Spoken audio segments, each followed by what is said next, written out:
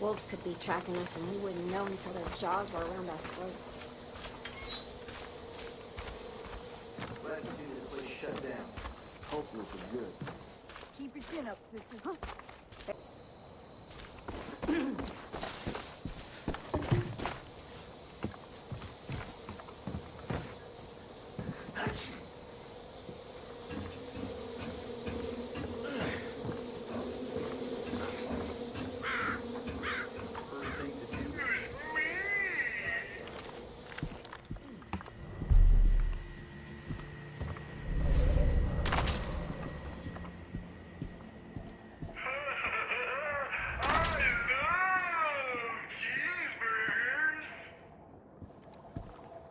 Deer's where you get the most bang for your buck. Not a lot on there you can't eat.